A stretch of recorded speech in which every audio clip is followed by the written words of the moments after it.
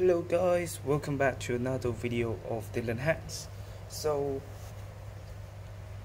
when I order the electronic uh, stuff, talking about electronic components online, I usually order it from AliExpress because the, the main reason is all the electronic distributors charge me about 600 Thai baht, Thai baht or roughly 20 bucks if I don't pay them uh, $50 up. So it's not worth to buy a couple dollars ship and pay it uh, 20 bucks uh, shipping. But recently for some unknown reason uh, element 14 they decide to offer free shipping on all order no minimum seriously. So then i took this opportunity to uh, order some FPGA chip is still waiting on the way because well chip shortage. And recently I also um, uh, bought a chip from LCSC like uh, you can see I got the box here. And yeah. Just couple voltage regulator and laser. But today I'm gonna take a look at the element 14 so I'm gonna try to cover this thing. So yeah element 14 I'm gonna open the box for you. So oh no some information that I shouldn't show you. So here we go. In the box let's see what we've got. Okay so this one is meant to be the Hirose connector. And I uh, take a look at the packages fancy package. So let's take this thing let's it inside this connector meant to be used with a BlackBerry uh, keyboard because it looks quite interesting. I have some background project that I'm doing about Linux handheld computer with the Lichee Pi Nano F1C100S board and that requires some nice keyboard. So it's gonna be BlackBerry keyboard and using this connector. Okay and next one this one is a bit special things it's a lithium ion capacitor. And this is what I'm gonna show you today uh, about this technology. So I'm pretty sure that you have heard about um, lithium ion battery. Well it's pretty it's pretty much everywhere now these days. And I also sure that you have heard about supercapacitor so this is kind of thing in between. It is a lithium ion capacitor, uh, 30 farad at 3.8 volts. The manufacturer is Vinatech, which is a Korea um, startup or something, I'm not sure. This one going on uh, have uh, on the Element 14 about 160 Thai baht, which is roughly 4 bucks, I think. Not quite sure. But let's take a look inside okay you have this box and yeah the part number is VEL 08203R83060 blah blah blah. And you got the order code. Maybe you want to get one of these on final element 14 whatever. You just just grab that number. So let's take a look at this. Maybe can I open from the bottom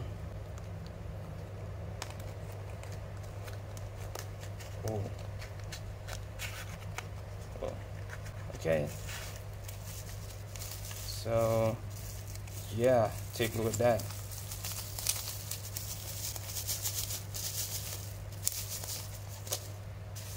Hmm, take a look at that. Look at the size of this. Gonna get a little bit closer, get some focus. Okay, great. Handicap VPC Vinatech. 3.8 volt 30 farad yeah.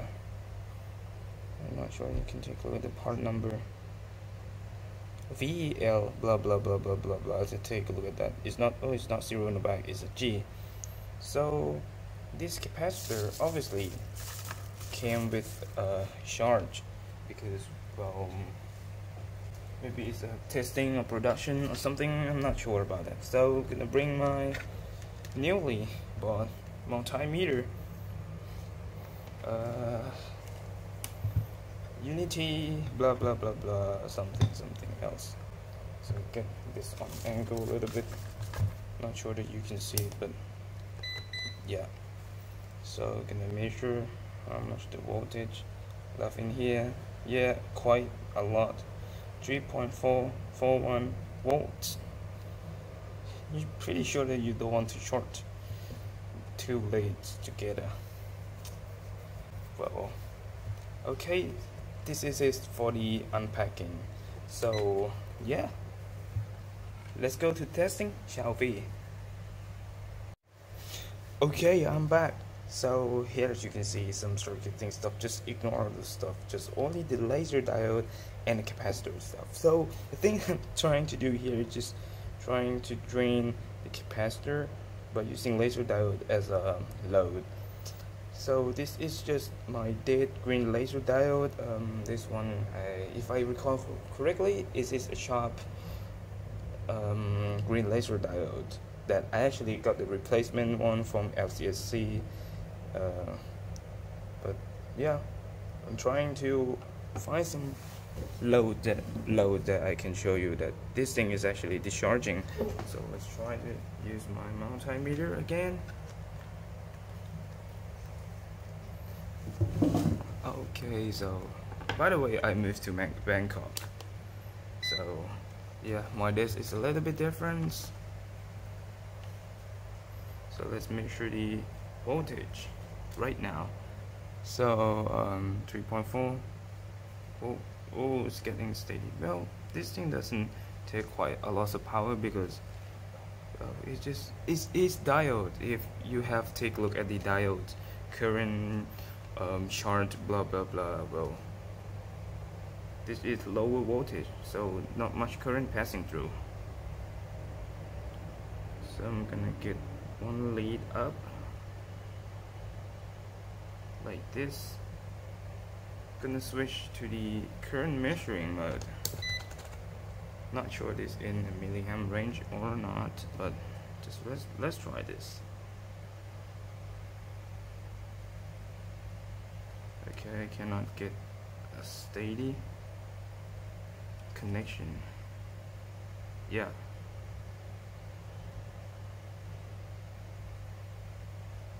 Okay it's about 0.2 milliamp. Well yeah it's just simple. Simple load. I remember that I have yeah I have the blue laser diode maybe if you can do something with this and play with it. Need to be really careful not to get this thing short. So orientation of the diodes. This pin is a plus. Middle is negative. negative plus it should be positive. Anode. So the case is cathode and I don't want to risk. Maybe if oh shit oh it's actually shining some lights. Shining some little lights. I'm not sure that you can see it but I'm quite nervous. Not trying to short this thing and burn this place down. No it's not gonna burn this place down but if it explodes it's not a good thing to happen. So, okay test a little bit laser. Uh-huh. again so I don't want to do this I want to do um, some kind of current measurement but well I don't have proper tool and this 10 amp 10 second. I just don't want to try to tickle what is called tick tick tickle the dragon tail or something. Just don't want to get into trouble.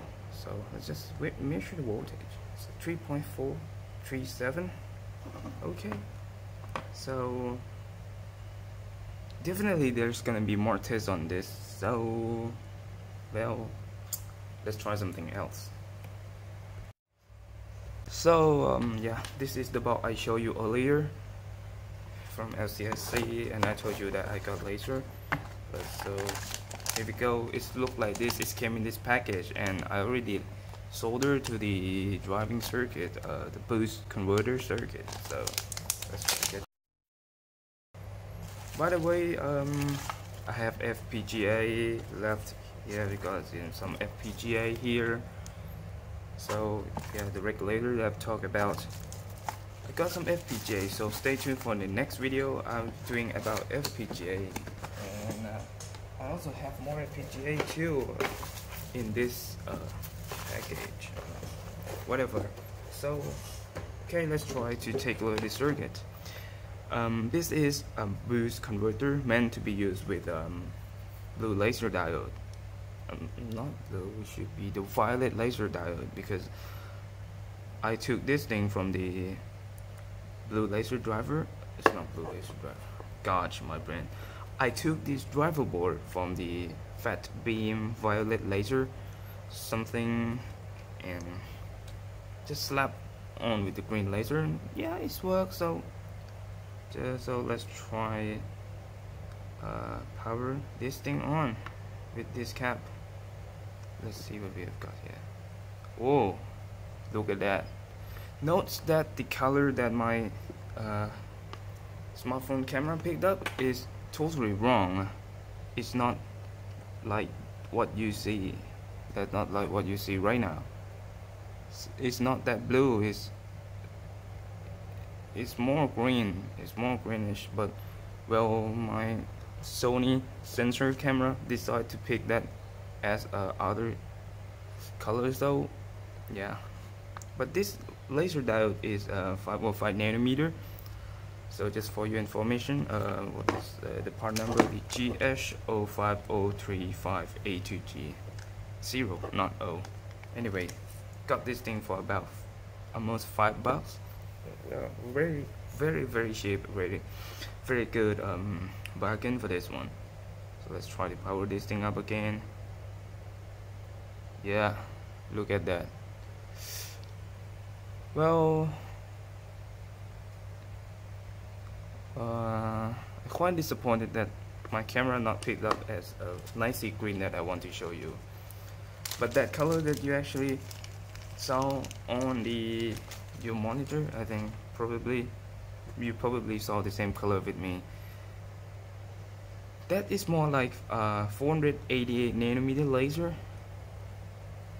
I, I really want to have one but well it's quite expensive. It's I think about 30 buck ish something and I kind of like fear to handle those laser if I do wrong move and I kill laser so my hopes are gone so everything is gone.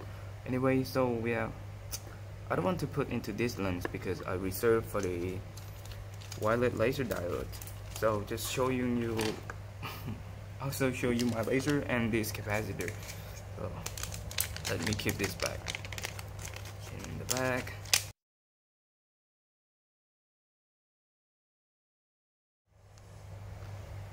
So here you are some little unboxing and testing with this uh, um, lithium ion capacitor uh, Vinatech.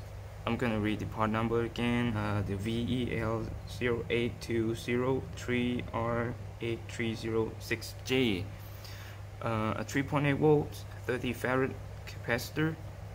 So you might um, try getting this one on hand. I haven't tested this much to show you some laser thingy and stuff powered by this capacitor but well I actually have a use for this so I'm not sure that you follow my um, hackaday.io whatever that, that hackaday things that there's a past project that I do about I did about not do I did about um, welcome rip off project and here I show you this is a Bluetooth version. It kind of works I got the battery management system. I got the um, the fuel gauge charger and LDO for stepping this down for the microcontroller and the the Blue 19 no 990 9013 so just here the Blue 9013 uh, welcome chip and as you can see I use the just regular battery and I want to replace that with this.